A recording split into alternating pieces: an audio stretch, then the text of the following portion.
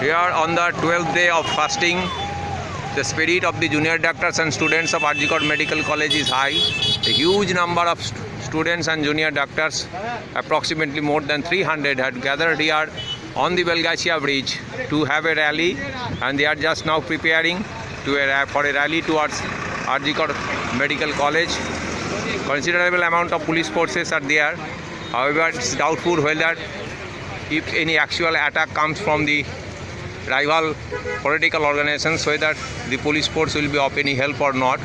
Still the spirit of the junior doctors is very high and they are now preparing for a rally as because the authority is trying to blackmail the movement by various uh, pressure tactics. So they have all many of them have just now today come from their houses and more numbers to trickle. And the number of gathering is to in, supposed to increase day by day.